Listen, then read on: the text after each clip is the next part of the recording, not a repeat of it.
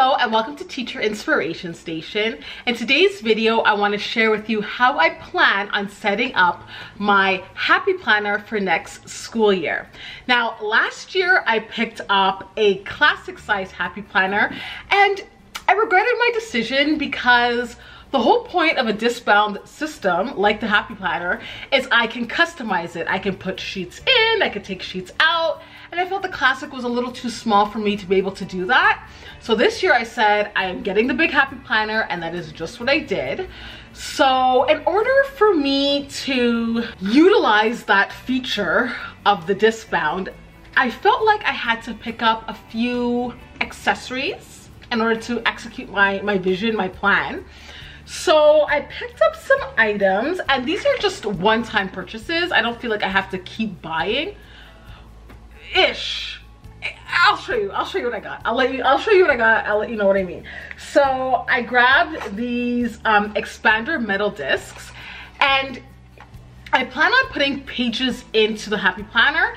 And I don't know if these are gonna be big enough so I grabbed the extender rings and I also, they're metal and apparently the pages move better on the metal ones. I don't know. It doesn't matter because the plastics are fine. But I just went with this one. I really wanted the gold metal ones, but I didn't have it. So I went with pink, but it's fine because pink matches my planner perfectly. So I went with these.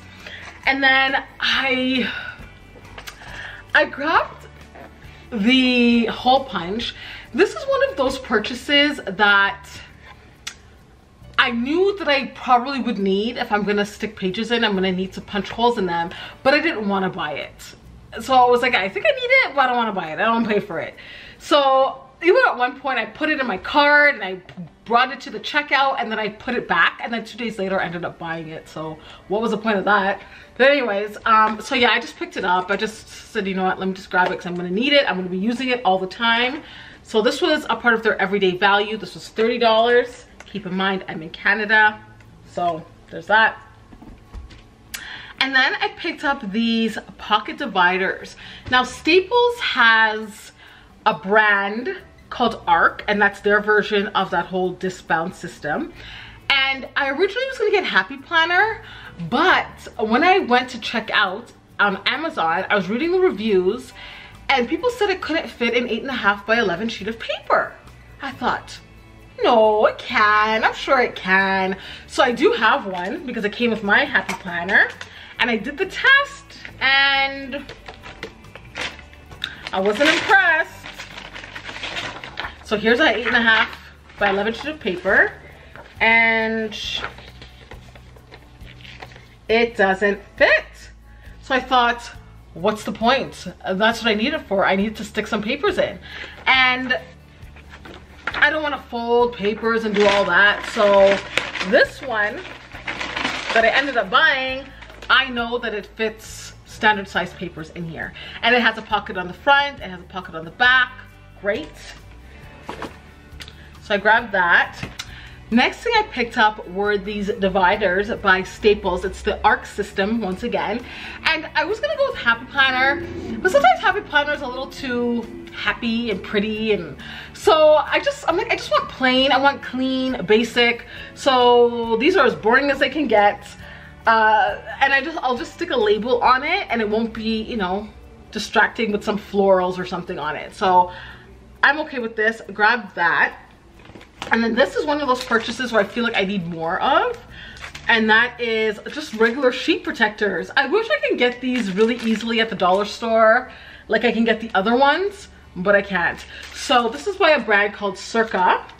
And my Amazon only had one package left. So I was only able to buy one package of five. But I feel like I'm gonna need a lot. I feel like I'm gonna need a bunch. So um, they said more on the way. And I could order it from the States because the States does have a package of 25. But we'll see. We'll see. I, it's not an emergency. It's not something I really need right this second. I do wish I could make some because I did try and make it with a regular sheet protector in my hole punch and it, it didn't, no, look at all this. It didn't work out for me. It really didn't work out. It has tears. It, yeah, it, it didn't work out. I did try, but yeah, it's not gonna work. So, whatever. I'll just get more when they arrive at my Staples. And last but not least, I picked up this paper. I didn't need it. This is definitely a want. Um, but whenever I'm taking notes, I want to keep all my notes in my planner when I like staff meetings and things like that.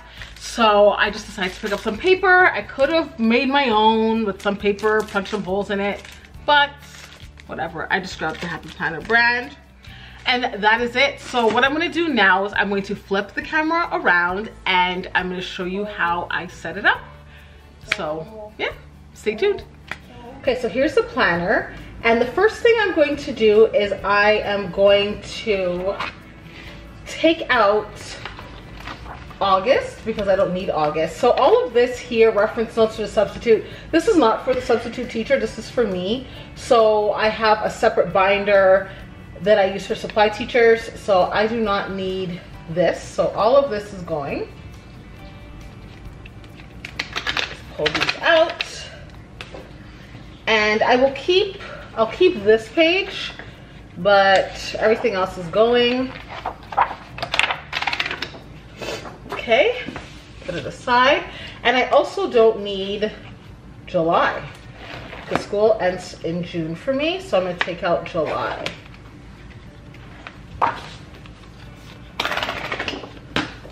Okay, so that's done. Now I'm gonna quickly uh, just change out the rings. If I could find my rings, that would be great.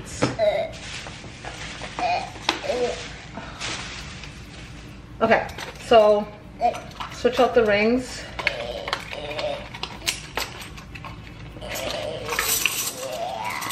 Yeah, they're a lot bigger. That. Adrian. Adrian, please. Please.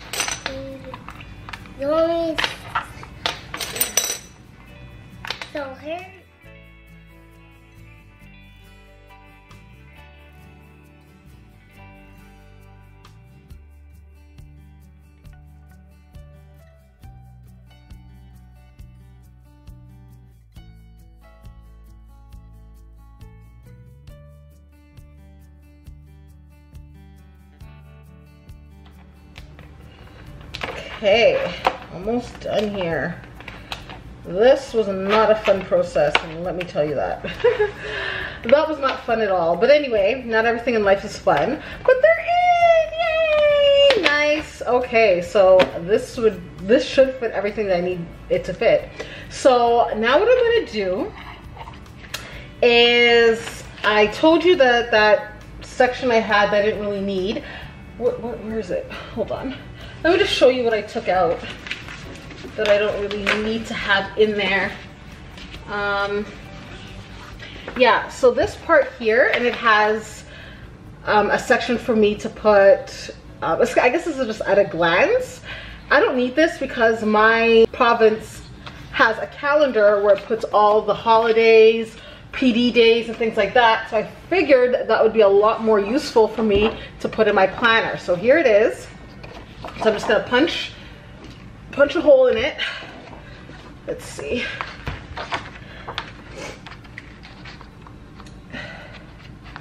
So there's lines here. You just kind of line them up with the lines. And boom.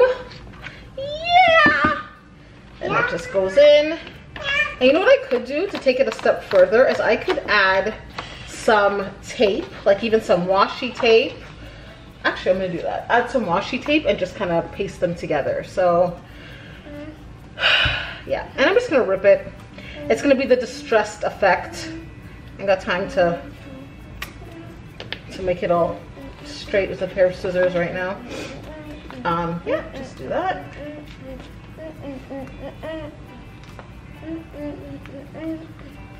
Fold it over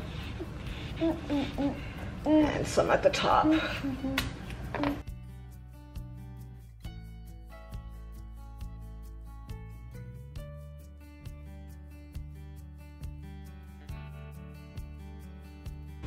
I've taped that on and actually I can tape, mm, I can also do it at the side, but I'm not going to. I'll just leave it like that, that's fine. And then yeah, I just wanted to have this page here where I can put like student birthdays, top priorities and all that. And now what I want to add here is my schedule for the school year. So punching the holes and sticking that in. This is so easy. Oh my goodness. Oh, I love it. I love things that are easy. I think I'm just gonna add some stickers as well because it's looking kind of plain to me. So I have my Happy Planner stickers here. Literally, just like a pencil or something. Yeah, we'll just keep it, we'll keep it, we'll keep it simple. We're not going anywhere. Yeah, I'll just do this. Boom. And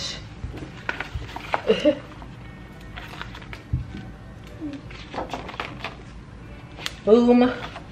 And stick it in. Just so it's cute. Doesn't like cute. Okay, so that's in there. And then what else do I want to put? I do want to put my long range plans in here. So what I went ahead and I did, so I made these dividers and I just put labels on it and just attached it with some washi tape. This seems to work. Um, it doesn't seem like it'll come off. So yeah, that's what I did. And also with my, my pockets um, dividers. So long range plans will be next. And these fit nicely in. This, like I said, this is the, the Staples Arc. And they fit. A little stiff right now, but it'll, it'll loosen up.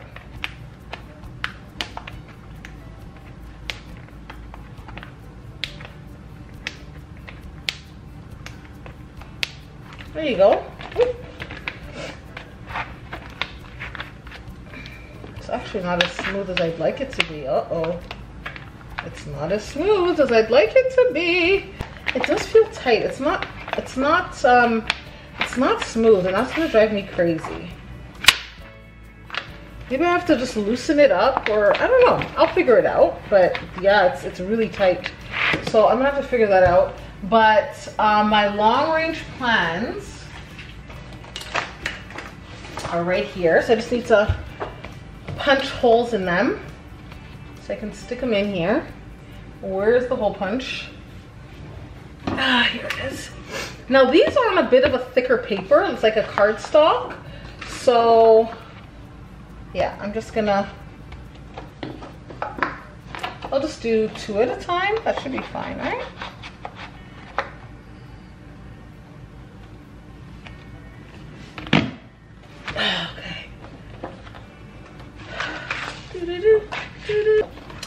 Okay. Let me stick these in.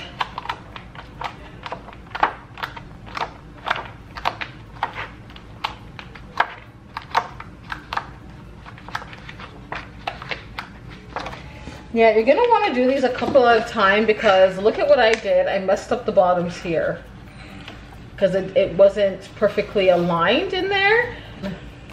These, the rest of these seem fine. Yeah, no, I messed these ones up too. Man, woman. You see when you try and like rush things, how it just doesn't work out for you? That's what I was trying to do, rush it. Yeah. I did the lazy way of just doing a bunch and it didn't work out. So max two if you're using cardstock. This is cardstock. I would even do, yeah, I'd do one, but max two. So that's that. So the long range plans are in here. So I'm gonna put the newsletters here. So basically what I did is, um, uh-oh, I'm missing one. So basically what I did is I just stuck um, labels on it with washi. These are the pockets. And any newsletters or notes that I send home, I'm just gonna keep them in here just to keep things organized and so I know what I sent home, what I didn't. So notes home, notes like um, my reading program or my homework policy, uh, things like that. Just little notes that I send home to parents. And then newsletters. So every month we do a newsletter and I'll just keep them in here. So it's just like a bit of a communication piece, what my communication has been with my parents. It's a nice place to keep them in. These move a lot better than the dividers. So I like these, but the dividers don't seem to move very uh, smoothly, and I need to figure out how to fix that. Um, yeah, but these work fine. These dividers I like. So that's what I'm gonna put there. We have these things called in support school team meetings and school support team meetings. You bring students up who you have concerns about, either behavioral concerns, academic concerns. And before you go to these meetings, there's a form you need to fill out and um, and during the meetings we kind of update the form and talk about like what our next steps are going to be so i just want a place where i can just keep those forms so um, i thought sticking it in here would be a good idea okay i just realized that this stopped recording so where i left off at were these ist forms. So yeah, IST forms and things like that, I have a spot to put them in. This divider moves a lot smoother than the blue one did. So I guess it was a default or like a, what's the word I'm looking for? A defect in that blue one. Um, I gotta figure out how to make these a little wider, but this one is a lot smoother. So I went ahead and I added some a sheet protector. So each each um, form will have its own sheet protector. So hence the reason why I need a few more of these. And then I put in an IEP divider and you guys know IEPs and each IEP will have its, oh, see this moves a lot smoother than the blue one. Anyway, so there's that and a, a sheet for the IEP. And then I included a think sheets. So these will be, let me slip it out, let me show you. So basically what it is, um, circle where had an inappropriate behavior, classroom, lunchroom, playground, hall, restroom, which rule did I break, how I feel about my inappropriate behavior, next time I will, and then student signature, staff signature, and parent signature. I don't always get the parents to sign these, Just, I guess it depends on what the child did. To be honest, this is not the one that I use. The one that I use is at school and I don't have a copy here. Um, I don't know where I got it from. I just have it. My school, we use that one. But it has the rules on the side. It's a nice visual for kids to um, see. But I just wanted to include one so you guys can see what I'm talking about. So put it in there. Okay. Here. Okay. And then here I have uh, communication logs. So how I'm doing it this year is I just put the student name, date, and method of communication and notes. The ones I used last year just had the student name at the top and then a place for me to keep all of the communications. But this, I'm just gonna have it where um, it can be two students on one page. I'll photocopy it front and back. I'm just gonna do it like this this year. We'll see how that works for me. I don't know, but um, yeah, we'll see. And then here we have staff meetings and workshops. So you know when you go to staff meetings, how they give you handouts and things like that. So it'll just be a nice place for me to keep everything.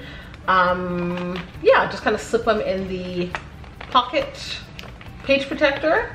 And I also now want to add in some note paper pages. So I'm just going to add a few from the Happy Planner here. And yeah, so when I go in my meetings and I take my notes, I can just have them all in one place. Oh my goodness, look at what I'm doing. I'm ripping the paper. Look at this. My goodness me. Yeah. It's just one sheet. But still, I need to I need to be a bit more careful. anyway, so I just stick them in.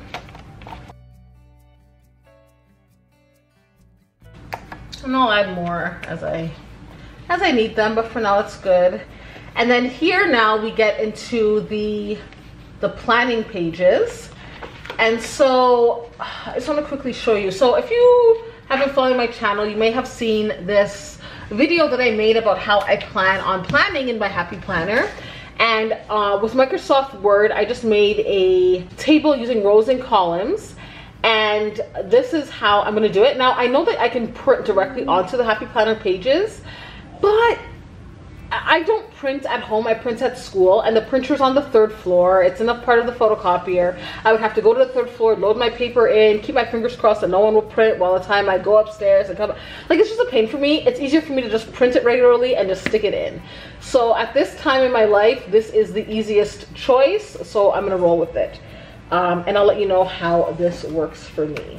But I think that is it. I think I'm all set up for the school year. And like I said before, oh no, there's something I wanted to add. I want to add in these, um, where is it? Where should I add it? I think I'm gonna add it in over here. So you see how my long range plans are? I have like reader's workshop, I have writer's workshop, and then my math is a bit more specific. Like I have the different strands and what I'm gonna teach during the month. So mine for language isn't so detailed. So what I have printed are the expectations from the Ontario curriculum for oral communication, reading, writing, and media literacy. So I just wanted to stick these in. So I think I can get away with punching all of these at once because the papers are a little thinner than the cardstock. So I'm just gonna do this and i will be careful this time. I'll be careful. Yeah. Oh, yes. Good job, Melissa. Good job. So yeah, I'm just going to stick these in here. There it is. So woohoo! All set up. You're Again, I need I really need to fix this. Maybe the other pack, I don't want to open it. Maybe the other pack will be better. Um because this one is really tight. The other ones are not as tight, but this one is. So this is gonna be a pain. I'm just gonna take it out because I know it's gonna be a pain.